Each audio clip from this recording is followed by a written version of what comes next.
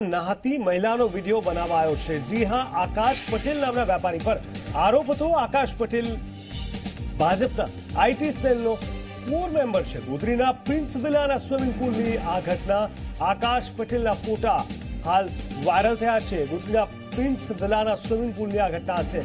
આપણે TV screen ઉપર જોઈ શકો છો. આ જ શખ્સ જેનું નામ આકાશ પટેલ, જેના ફોટો વાયરલ થયા છે. સ્વિમિંગ પુલમાં નહાતી મહિલાનો વીડિયો બનાવવામાં આવ્યો હતો.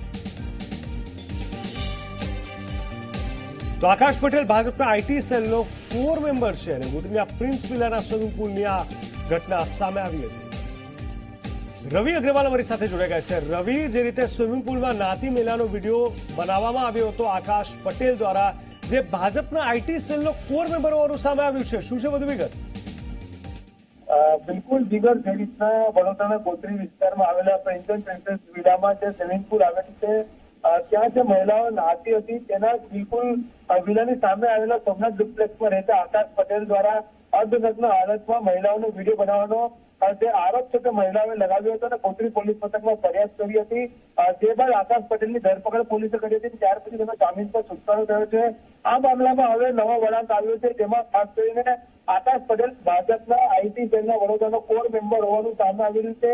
અને તેના જે ફોટા છે તે સોશિયલ મીડિયામાં વાયરલ થઈ રહ્યા છે, જેના કારણે ચોક્કસથી આ આકાશ પટેલનો જે મુદ્દો છે તે વડોદરામાં એક ચર્ચાનો વિષય બન્યો છે અને તેને રાજકીય પૂરતું પકડ્યું છે કારણ કે જે રીતના જે મહિલા આયોજન પોલીસ કમિશનર પાસે રિપોર્ટ માંગ્યો હતો, ઘટનાનો તેને લઈને ચોક્કસથી હવે જે રીતના આકાશ પટેલ ભાજપ આઈટી તેમનો કોર મેમ્બર નીકળતા ભાજપ માટે જવાબ મુશ્કેલ પડ્યો છે એમ પણ અમદાવાદના ભાજપના ધારાસભ્ય પેલા મહિલાને લાતો મારી હતી. ત્યાર પછી આ રીતના એક ભાજપના આઈટી સેલના કોર સભ્યોને વડોદરાનો વીડિયો બનાવતો જે મામલો સામે આવ્યો ત્યારે ચોક્કસથી ભાજપ ભીતમાં મુકાઈ રહી છે અને જ્યારે આઈટી સેલના જે વડોદરાના પ્રમુખ છે, હિતેશ પડતી, તેને વારંવાર ટેલિફોનિક સંપર્ક સાધવાનો પ્રયાસ કરવામાં આવે ત્યારે તેમણે હવે દોરતના ઉઠાવ્યું અને ચોક્કસથી આ મામલે તેઓએ બંધ કરી દીધો તેવું લાગી રહ્યું છે.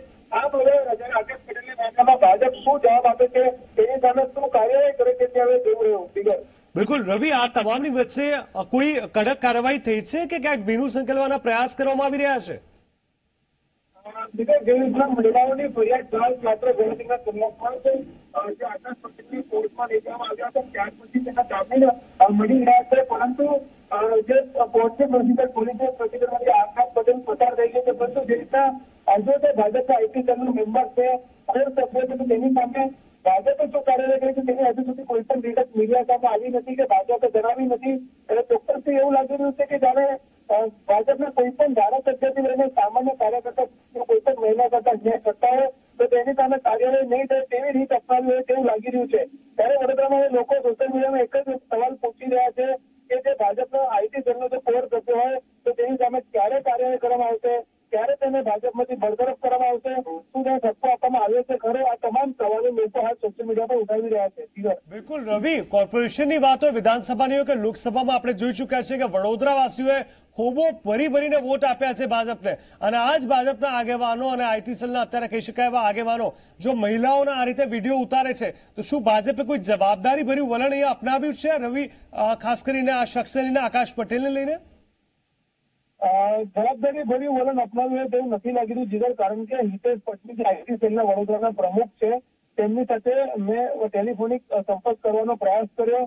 સતત બે વખત તેમને કોલ કર્યો, પરંતુ તેમને કોઈ પણ કોલનો જવાબ ના આપ્યો. સાથે સાથ સમગ્ર મામલા તેઓએ પોતાનું મૌન સેવી લીધું તેવો તેમનો વ્યવહાર જોવા મળી રહ્યો છે. અને જે રીતના ભાજપના જે પ્રમુખ પણ એક મહિલા છે, ત્યારે શું આ મહિલા પ્રમુખ ખુદ જે મહિલા પ્રમુખ હોવાના નાતે આજે કાર્યકર્તા છે, ભાજપના આઈટી શું તેની સામે કોઈ કાર્યવાહી કરે છે? પ્રદેશ પ્રમુખ છે, શું તે કોઈ કાર્યવાહી કરે છે? ભાજપના મહિલા મોરચાના પ્રમુખ જે છે, અધ્યક્ષ રાજ્યના, એ પણ વડોદરાથી છે, ડોક્ટર સતીબેન પંડ્યા તો શું તેઓ કાર્યવાહી કરવાની કોઈ માંગ કરે છે? તેને જોવું રહ્યું, કારણ કે જે રીતના મહિલાઓનો વીડિયો તેને બનાવીને વાયરલ કરવાની જે ધમકી આપી હતી, તેના પગલે પોલીસની ધરપકડ કરી હતી અને ત્યાર પછી તેનો જામીન પર છુટકારો થયો છે. ચોક્કસ તેવું જોવું રહ્યું કે જે રીતના સોશિયલ મીડિયામાં લોકો પોતે જયારે આકાશ પટેલનો જે ફોટો જે ભાજપના હાલના વડોદરાના પ્રમુખ અને સાંસદ છે, તેમની જે સ્ટેટ કરી રહ્યા છે, ત્યારે અમે જોવું રહ્યું કે ભાજપ કયા પ્રકારની કાર્યવાહી આકાશ પટેલ સામે કરે છે.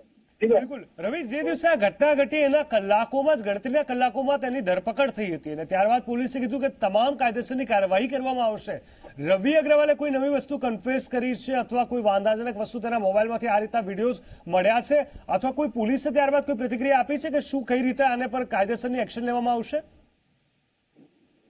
બિલકુલ જીગર આકાશ પટેલે પોલીસની પૂછપરછમાં પોતાની ભૂલ સ્વીકારી હતી. તેને એટલું તો સ્વીકાર કર્યો હતો કે આ જે વીડિયો છે તે વીડિયો ઉતારતો હતો પરંતુ તેને એ નથી કીધું કે તે મહિલાઓનો વીડિયો ઉતારતો હતો. તે સ્વિમિંગ પુલ અને જે ગેરકાયદે ક્લબ હાઉસ બનાવેલું છે પ્રિન્સેસ પ્રિન્સેસ વિલામાં તેનો વીડિયો ઉતારતો હતો. જે તેને પોલીસને કીધું છે. સાથે સાથે તેને પોતાની કરતૂતના મામલે તેને માફી પણ માંગી છે કે હવેથી તે અર્ધનગ્ન હાલતમાં જઈને કોઈ પણ દિવસ બાલ્કનીમાં ભરીને વીડિયો નહીં ઉતારે તે પણ તેને પોલીસ સમક્ષ કહી શકાય કે હૈયાધારણા આપી છે.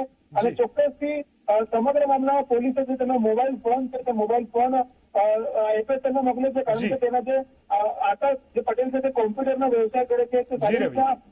ફિલ્ડનું તે જાણકાર છે તેના કારણે ચોક્કસથી પોલીસે તેનો ફોન એફએસએલમાં મોકલીને તેને કયા કયા વીડિયો અને કયા કયા ફોટો ડિલીટ કર્યા છે જે પોલીસે જાણવાનો અને તપાસ કરવાનો પ્રયાસ પોલીસ કરી રહી છે જી રવિ અમારી સાથે જોડવા માટે ધન્યવાદ તો ભાજપના આઈટી સેલના કોર મેમ્બર ગોત્રીના પ્રિન્સ વિલાના સ્વિમિંગ પુલની આ ઘટના આકાશ પટેલના ફોટો પણ વાયરલ થયા છે